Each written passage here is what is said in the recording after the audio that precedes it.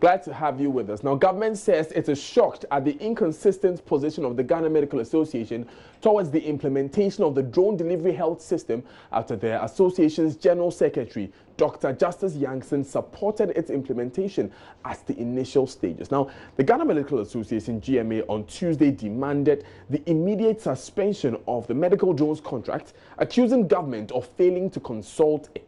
Uh, but speaking to journalists Wednesday morning, Deputy Information Minister Pius Hadzide uh, revealed the General Secretary of the Ghana Medical Association, Justice Yankson, pledged the association's full support for the rollout of the drone system when he met the Vice President earlier this year. The Vice President, Alhaji Dr.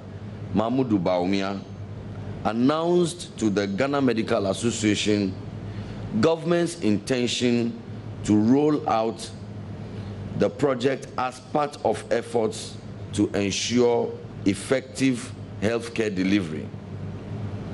The Ghana Medical Association welcomed the decision by government and to quote the General Secretary of the GMA, Dr. Justice Yankson's reaction to the announcement, and I quote, Well, as for us as an association, on countless occasions, we have bemoaned the state of emergency medical service in the country.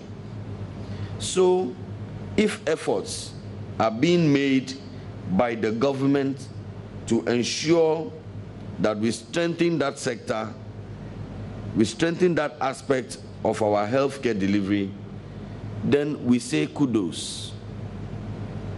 Government is therefore taken aback at the current position of the GMA when it says, and I quote, the proposed services to be provided by the drones do not conform to the primary healthcare policy in Ghana.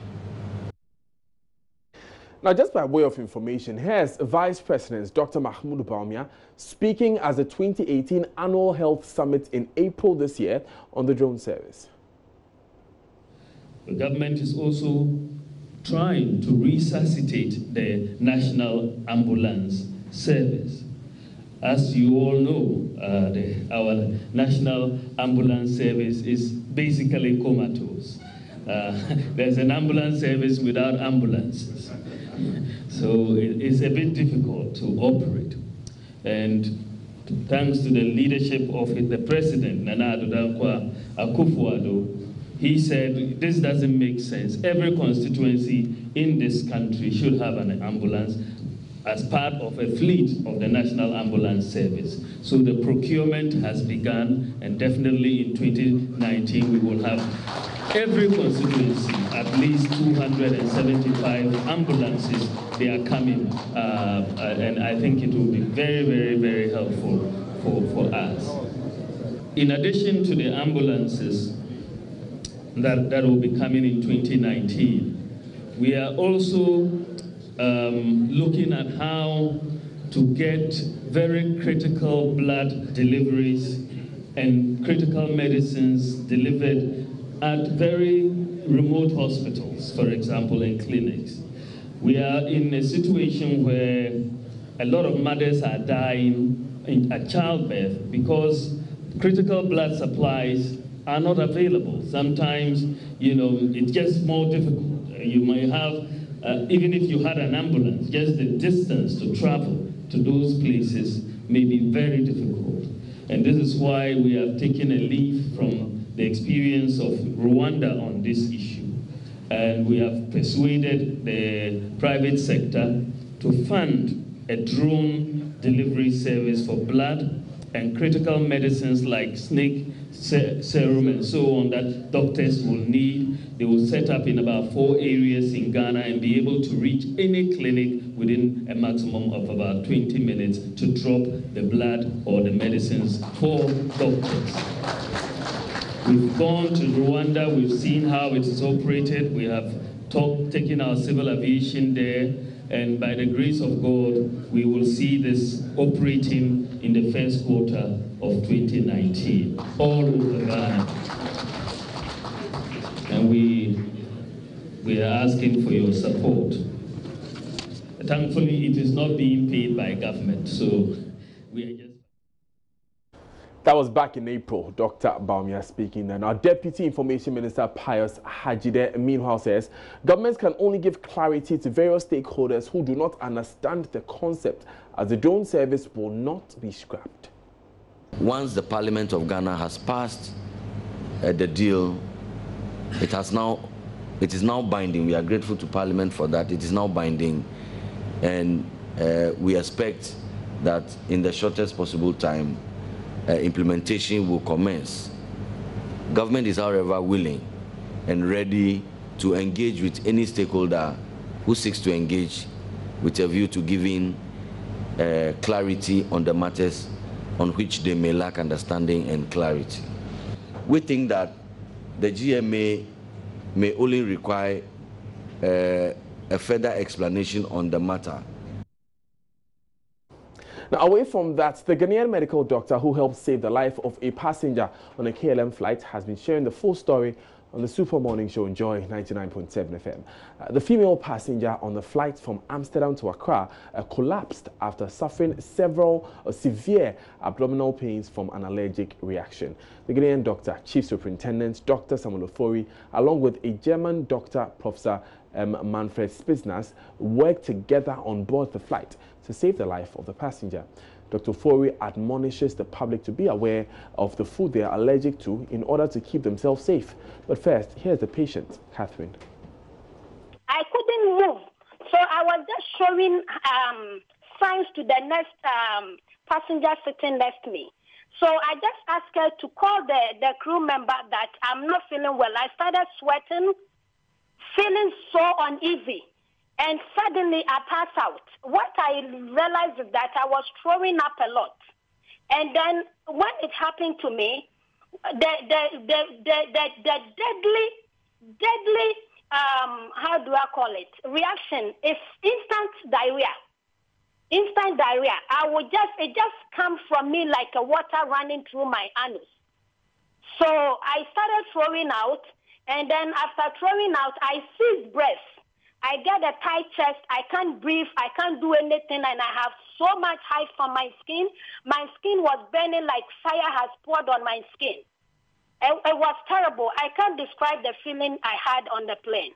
But it, it, it's okay. I had it before. And, but this one, my only concern is how I got so naked on, in, in the presence of the, a lot of people. That is what my concern is.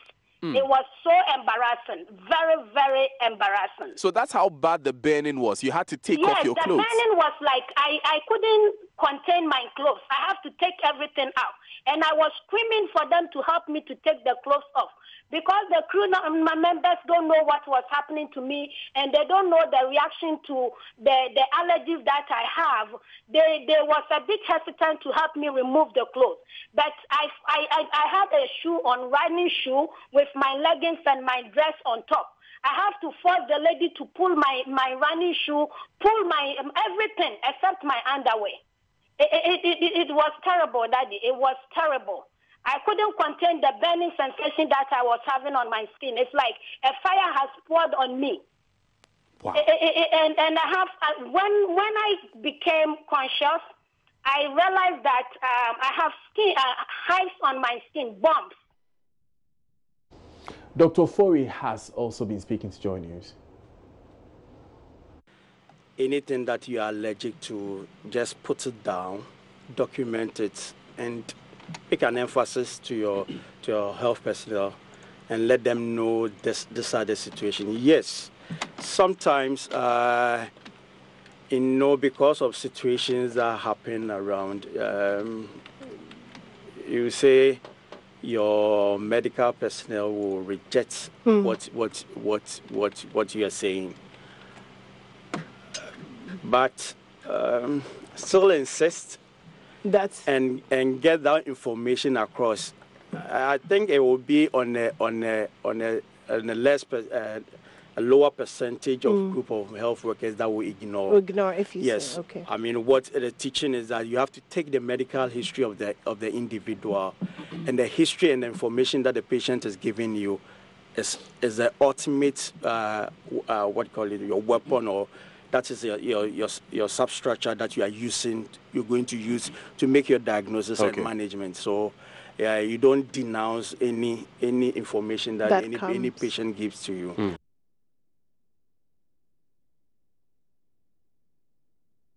Now, the Ghana Anti-Corruption Coalition, GACC, is championing a nationwide round of activities to compel governments to give the necessary attention to the passage of the anti-corruption bills into laws.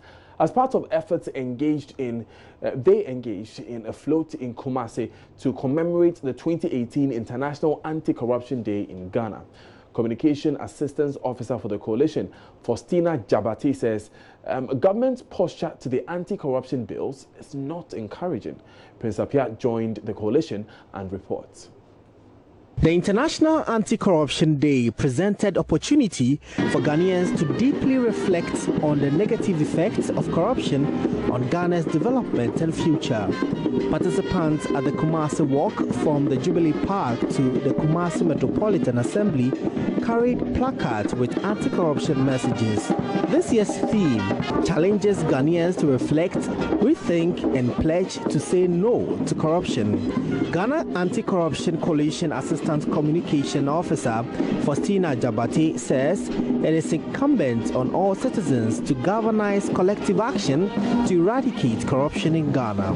We are calling on government to ensure the following. The passage of the credible and robust right to information law to ensure that citizens can easily access public information, particularly information on budgets, contracts, foreign agreements or treaties, as well as procurement to the deepen transparency and accountability.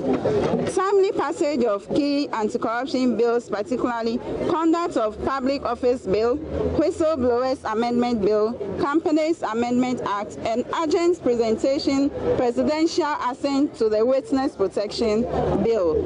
Effective implementation of the National Anti-Corruption Action Plan, NACAP, as well as other key anti-corruption conventions such as African Union Convention Against Corruption and the United Nations Convention Against Corruption. Member of the coalition and executive director of ABAC Foundation, Philip Dia, says government must be transparent in its fight against corruption to allow for public monitoring. As citizens, we want to hear, we want to know how much of our budget was used on project, how much are our projects costing us, who has been given the contract, and then when is the person supposed to finish that contract? We want to get involved as citizens. We want them to be responsible. We want the we want our citizens to we want them to be accounting to us so that we can also know what is happening. Once we know what is happening, then we can monitor. We want the government to pass the right information bill. You go to you, you, you go for information and then they will tell you that pass here, do this, do that. They will find so many ways to deny you of the information, and because of that, you cannot even ask even for your right. The 9th of December every year is observed as International Anti-Corruption Day to increase national awareness and sensitize public on the cost of corruption. Prince Appiah reporting. Still watching Joy News today. Now, we stay with the issue of corruption and the Right to Information Bill because uh, Parliament has this morning resumed consideration of the various amendments of that particular legislation. Normally, um, these amendments to the RTI are done later in the day, but um, in a surprise move, it's being done in the early hours of the day. Joseph Opoku Gakpo has joined us on the line to tell us um, the exact implications of what is going on. In the first place, um, Joseph, what, how far has the House gone with the consideration of the RTI bill? Uh, and so you would know that there are more than um, 91 clauses as far as the bill itself is concerned. And uh, from what is happening on the floor, there are something in the region of um, clause 30, which means they still have quite a long way to go with the various considerations. But the interesting bit is that on a normal day, the House will usually consider bills and make amendments a little later in the day when they're done with all your items like questions for uh, ministers, like uh, statements by MP, like considering of various loan agreements and all. But today, sometime around uh, 11:15, uh, the House moved on to have a conversation around the right information bill itself and began uh, considering the various amendments. Uh, then there were quite a number of the MPs on the floor, but even as the consideration continued, right now there are just about 30 of them on the floor going ahead with the various amendments. The chairman of the Constitutional and Legal Affairs Committee has been leading that, and they're hoping to make as much progress on that before they would return to considering the budgetary estimates of the various ministries, departments, and agencies a little later in the day. Now, Joseph, this is an interesting conversation because uh, you were telling me once on the Super Morning Show on Joy FM this bill cannot be passed before the year ends. And that has been confirmed by the Vice President. And an example was given about how Parliament um, adjourned sitting somewhere around 1 p.m. one day when the RTI was still there to be considered. And then later asked for an extra day to sit on a Saturday uh, mm. to consider appropriations. Uh, how would you call this posture now? I mean, from where you stand in Parliament, what's the new posturing of the House towards the RTI bill? Now it's looking like uh, the commitment to get the processes going uh, are, are, are, happening. Uh, because ordinarily, even when it, I, I, it comes to around this time when they are looking at budgetary estimates for various ministries, departments, and agencies, and mind you, the House has less than uh, 10 days to sit before they go on break, eventually next week, Friday. And so around this time, there would be the dedication of a lot of the time considering the budgetary estimates of the various ministries, departments, and agencies. But it looks like with all the pressure that's building up, the concerns that are coming up from various civil society groups, um, the, poli- the, the, parliamentarians want to show that there is a certain commitment to getting the RT, uh, you know, the RTI bill out um, in, in, the midst of all the concerns. Although it's now evidently clear that they would not be able to get this bill passed and approved before the House goes on break on the next Friday. But clearly, they would want to put out the indication that they are committed to working on the bill. The decision to, for example, consider it in the morning is an indication of that. And although a lot of the MPs are out, uh, sometime last week, uh, an issue came up about quorum and the number of MPs who were in the House, even when they were looking at the RTI bill, to the extent that the first deputy speaker ordered a suspension of the standing orders in order to allow to consider the bill. So, yes. Right. Right, Joseph. Unfortunately, we lost Joseph there, but uh, the import of what he was saying really is that Parliament seems to be showing a greater commitment to the passage of the RTI bill. I would have been curious to find out, of course, um, if there's any indication that this new time for considering the amendments uh, would continue, uh, but we will be finding out that uh, later on in the day. Uh, for now, we'll take a few important messages, but when we come back, stakeholders in performance of funerals of two late kings of Dagbon pledge support ahead of rites and also to ensure their supporters comport themselves. We'll hear from them. The very concluding expressions or words expressed by all of them is that they all want Dagbon to have peace.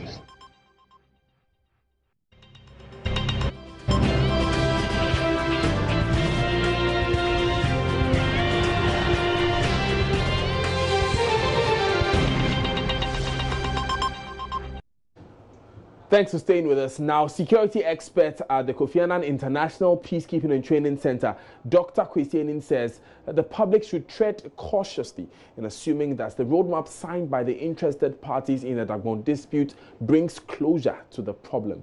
He says the agreement signed should only be seen as a framework for the peace process, urging governments to channel more resources towards addressing the emotional interests involved. That the actual signing of a peace agreement is the beginning of a process that seeks to build trust and to arrive at a point where the contending parties can say we are satisfied with what we have got out of the mediation process. I think it's dangerous and wrong for the generality of the public to misconstrue the agreement that was presented as a necessarily final document okay. in which every single one agrees. No.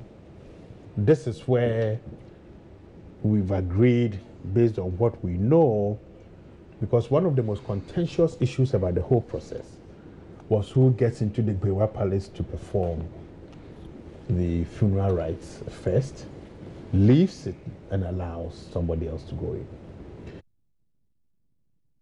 Now, the December 13 crucial event is the first of a peace roadmap reached between the two feuding chieftaincy factions and the Otumfuo Osei II led mediation committee.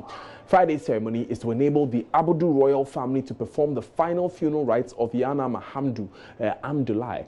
After that ceremony, there will be a one-week break, after which the final funeral rites for Yana Yakubu Andani, the second will also be uh, performed from January 4 to 19, 2019. The Asantehene has meanwhile issued a statement warning no faction or gate should enskin any chief within this period. And the stakeholders in the performance of uh, the two funerals, or the funerals of the two late kings of Dagbon have pledged their support ahead of the funerals and also to ensure their supporters comport themselves. Briefing the media after a visit to the various palaces and inspection ahead of the funerals, Northern Regional Minister Salifu Saeed said stakeholders have agreed to ensure the funerals are performed in a peaceful environment. I want, on behalf of the Municipal Security Committee of Yendi Municipal Assembly, as well as the Northern Regional Security Council, REGSEC, to welcome you to the Old Gbewa Palace in Yendi. Uh, we have come to assess the extent of work with regards to the construction of a temporary palace at the Bewa Palace to facilitate the implementation of the roadmap that was rolled out by the Committee of Eminent Chiefs to see to it that come 14th of this month, that is the funeral of the late Yana Mahamadu IV will kickstart. That is 28th of December 2018, after which January 4th to 18th of the same month, January 2019, they would have kickstart the funeral of the late Yana Yakubu Andani II. Now, co-founder of the West African Network for Peace Building, WANEP, Emmanuel Bombande says the level of progress made in resolving the Dagbon chieftaincy conflict must be appreciated. He, however, he wants those leading the enforcement of the roadmap to peace in the area uh, to desist from sounding instructive and be more persuasive, especially as the funeral rites of one of the two late overlords begins on Thursday. He spoke on PM Express with Evans Mensah Tuesday night. Confidence building also comes with the assurances mm -hmm. and reassurances of key leaders and stakeholders in a mediation process. Okay, because there were questions about nobody has come to talk with me about my father's funeral. Yeah. So he too is in a situation in which, whether you like it or not, he's regent, he's the overall of Dagbon, but he also has concerns about so what is going to happen. Yeah. And let's not run away from the narrative. Mm. Though we are, tonight we don't want to talk yeah. about the past. Yeah. But we have come from a very difficult and complex past. Mm. So now if we can use the remaining hours for those reassurances those guarantees that the process is inclusive, and I mm. want to emphasize that mm. word that uh, Dr. Mm. Aning used. It's very inclusive, and in the mediation process, don't worry. Even if you feel that you did everything that was right, but one of the parties says, "I feel excluded," mm-hmm. or people are not coming to me and talking about my father's funeral, there is a voice that says, "I'm in need of something." Okay you need to respond approach to it. it. Yeah. Approach me. Yeah. Talk to me. Yes. Talk to me. Okay. So that's why mediation now will refrain from the attitude of directives okay. and instructions. And when you are a state and you don't have your own capacity to resolve your own problems peacefully, you are in real trouble. So I'm gratified that it doesn't matter how the hurdles have been and how difficult it has been. Ghana, from uh, the tragedy of 2002 on Dagbon has consistently tried to make sure that we are responding and we are dealing with this. Now, away from that story, three inmates have been discharged, whilst 21 have been granted bail after the Justice for All program moved to the Tamale Central Prison. Seven applications for bail were refused, whilst one was stroked out because the inmate had been discharged by a trial court. The sitting was held at the forecourt of the prison. Correspondent Martina Bugui reports. The Justice for All program is in the northern region for two days. At today's sitting, 32 applications were dealt with. Speaking to the media after the sitting, presiding judge, Justice C.J. Honyenuga, expressed worry about the increased cases of murder. He said it was a worrying situation for the country. My uh, observation, another observation is that we, we had a lot of murder cases. And like we had in the other time, uh, I think something ought to be done about this. Murder is becoming too much in this country. Almost everywhere we go, murder tries to, or it's, it's, it tries to form a greater part of the cases that we do. And uh, I think the authorities uh, involved should uh, sit up better than they are doing now. I think everybody has to be vigilant and uh, to, to, to, to put in preventive measures, you know. Some people just shooting people just at random using color accent. For example, one of the cases that I had, person just choose an accent, finish off his, his fellow human being. That's, that's just too, too, too bad. It's too bad. And, and, it's becoming rampant throughout the country. It's every prison that we, uh, we, go to, the murder cases form the majority, which is, which is not true for all of us in Ghana.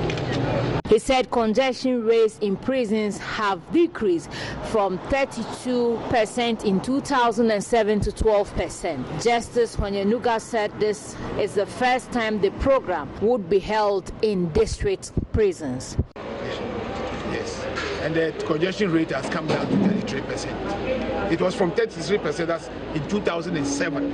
Yes, now it's about 12%. Yes is about 12 percent. And uh, uh, yes, tomorrow we are continuing to the local prison in Salaga. Uh, and then from there we'll continue to Navrongo prison. And then uh, I must also add that uh, uh, going to Salaga will be the first time that the program, the Justice for program, will be held there. And also in Navrongo.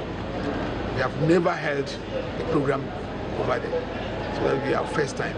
Of the exercise is to decongest the prisons. Uh, those uh, who have been on remand for so long uh, and who should not have been, yes, we consider them, them consider granting bail to them or discharge them. that is the Northern Regional Public Relations Officer of the Prison Service, David Afacho, said the Tamale Central Prison was built to contain 78 inmates, but currently it houses about 234. He appealed for support for the construction of more housing in the prison. This prison was built to take a capacity of 78 inmates, but as this morning, our lockup was at 234. So exercise like this comes to relieve us this pressure. The remand prison is supposed to house 16 prisoners, but today we are having about 104 prisoners in custody. So with this number, this 32, even it is not all who have been admitted to bail, taking the seven out, you agree with me that there's still pressure on the facility. So we are leading to NGOs can support putting up a single story or add additional buildings, since others have cases that cannot be admitted today, so that we'll be able to house them in those facilities. Still haven't joined you today with me, Daniel Dadzie. Coming up in business, IMF Managing Director Christine Lagarde is set to visit Ghana from the 16th to the 18th of December 2018. Sandra Esina Mapeno brings you more after this.